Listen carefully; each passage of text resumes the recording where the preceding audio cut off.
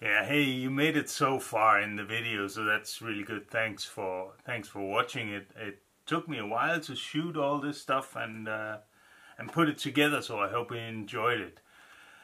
It's winter now, but I'm inside. I'm here with the thing here, this uh, this uh, Dark Impact from Tamiya, and it's um, I would say it's my best kit. It's my best car that I got. It's the most expensive that I got, um, and it really you can really feel it that it's a I don't know what you call it premium uh, premium build. It's it's good quality. It's nice. It's it was really good. It was a pleasure to build.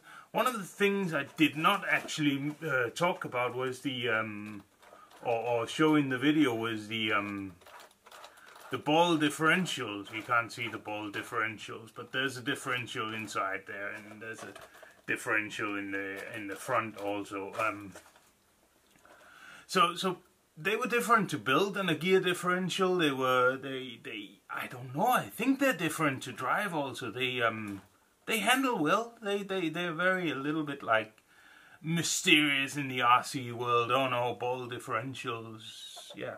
Okay.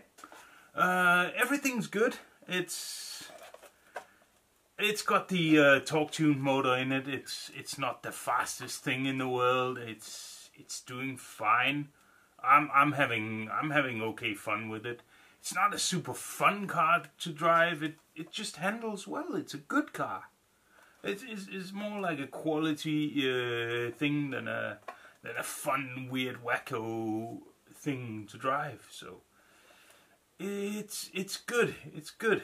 It was a little bit annoying that the snow came, but at least I got some funny uh, slow motion uh, shots and stuff with it. So um, the the overall thing I'd like to say about this car is I really really really like it and and it's kind of beautiful. I um I like the way I painted it. Um, I'm not so sure I'm so keen about the writing. Uh, I I spend a lot of time figuring out how to do the writing and all that stuff and. Uh, the colors aren't completely matching. I, I really like this thing here this this brace and the Tamiya logo. That that I'm really proud of. That was that was really cool.